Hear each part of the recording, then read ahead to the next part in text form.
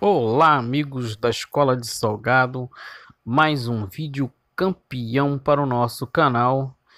E dessa vez eu venho trazer um delicioso salgado folheado de carne com queijo. É um salgado também aí é muito procurado aí pelos clientes e também muito saboroso. Folheado sempre é muito procurado e muito bom. Eles ficaram assim depois de assado, pessoal. Uma delícia.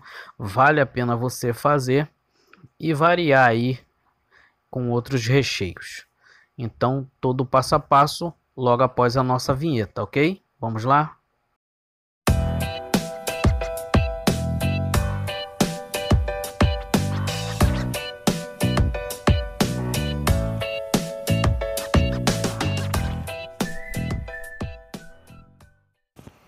Bom pessoal, os ingredientes que nós vamos usar para fazer essa receita, nós vamos começar aqui pelo nosso trigo, 1 kg de trigo, trigo de boa qualidade sempre é bom para a qualidade do seu salgado. Eu estou usando duas xícaras e meia de água aproximadamente, duas xícaras e meia.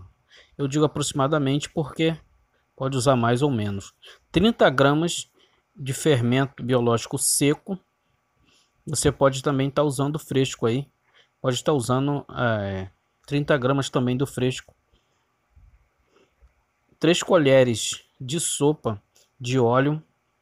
Uma colher de sopa de sal.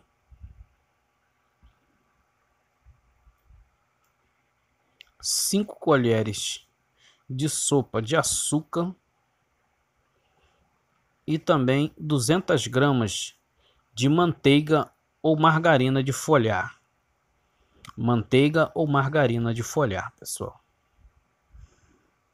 São esses ingredientes que nós vamos usar. Vamos lá para o nosso modo de preparo.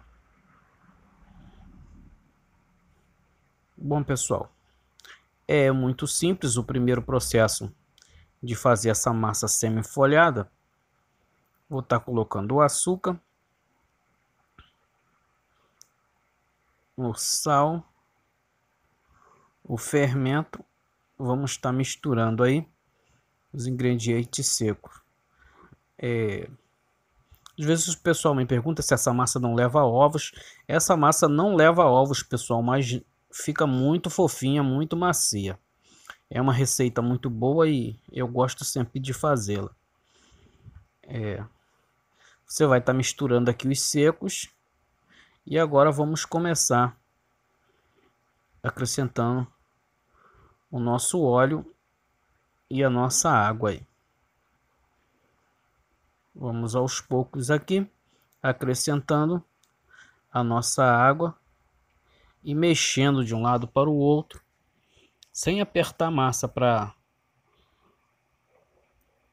para que a massa fique bem fofinha.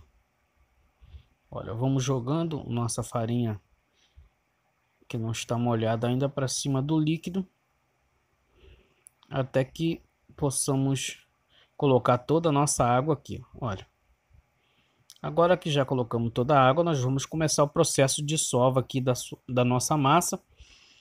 Eu, so, eu sovei essa massa aí, pessoal, por aproximadamente 10 minutos, ok? Que é muito importante para você ter uma boa qualidade aí é, com o seu salgado. Após os 10 minutinhos, nós vamos começar a folhear essa massa. Se você tem um cilindro aí para poder acelerar o processo, é muito bom também. Pessoal, nossa massa já chegou no ponto. Agora vamos começar o processo de folhear a massa. Para folhear essa massa, nós vamos abrir ela num retângulo. Vamos estar abrindo ela num retângulo. E depois vamos colocar a nossa margarina aí no centro da nossa massa.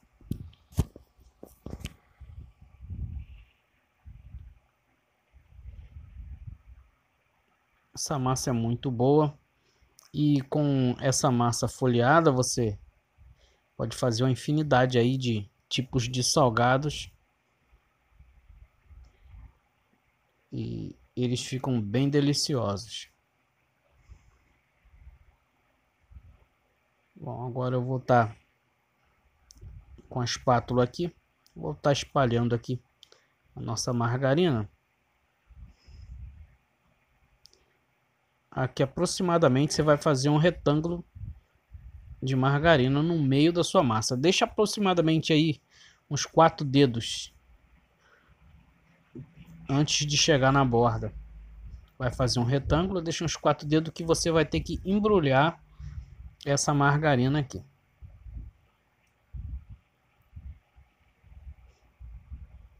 Pronto, você vai espalhando. Vai jogando de um lado para o outro. O bom da margarina folhada, pessoal, que ela não derrete é, rápido. E aí você pode trabalhar com calma, com tranquilidade. Já a manteiga não. A manteiga, se tiver calor, você tem que trabalhar, sentir que ela está derretendo. Você embrulha e leva para a geladeira para depois dar continuidade aí ao folheamento da massa. Agora a manteiga de folhar não, você ela não derrete à toa. Ela resiste bastante à temperatura aí. Olha, depois que você embrulhou a sua massa, você vai polvilhar aí a sua bancada e vai começar o processo aí de dobras, entendeu? Essa massa aqui você você dando três dobras de três é o suficiente para ela ficar aí uma massa aí agradável. Olha, a primeira dobra, olha, veja que ficou dobrada em três. Então nós temos que fazer três vezes esse processo aqui, já vai estar ótima a nossa massa.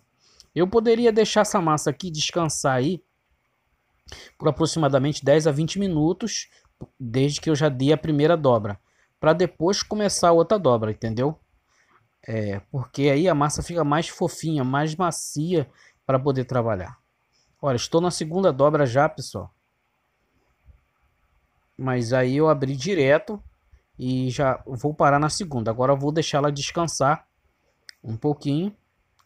É o bastante para ela dar uma fermentada. Ela já fica bem mais leve de abrir, olha. Já se passaram aí uns 10 a 15 minutinhos. Você sempre polvilhando embaixo, um pouquinho em cima. Aí você vai abrir novamente a sua massa para dar mais uma dobra. Essa massa ela dá um trabalhozinho, pessoal, mas é uma massa aí de luxo, é uma massa que não se encontra em qualquer lugar, entendeu? Em qualquer lanchonete. É, é uma massa aí é, que vale a pena você fazer, que vai valorizar aí a sua vitrine, vai valorizar aí o seu salgado aí. Olha, você tira a farinha solta e dá outra dobra. Agora, o que, que nós vamos fazer? Eu vou deixar ela descansar para abrir definitivamente. Pronto, olha. Abrir definitivamente e já começar a modelar aí os nossos salgados de carne. Ok, pessoal. Agora nós vamos começar aí a abrir a massa. Eu abri num um retângulo aproximadamente aí de um palmo e, um, e uns quatro dedos. E vamos começar a rechear. Eu coloco a mussarela e vou colocar agora a nossa carne.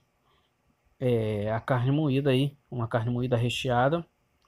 É, coloquei milho nessa carne moída, ela ficou muito saborosa. Aqui nesse processo eu estou colocando carne moída. Você poderia estar tá colocando aí frango, carne seca, que com queijo combina muito bem, entendeu? É, é uma variedade aí de, de sabores aí para esse tipo de salgado aqui, ele, ele aceita muito bem. Depois que você colocou a, a carne, você vai jogar uma parte para cima. Eu estou pincelando aqui com, com clara, tá? Clara de ovo para dar uma colada na massa.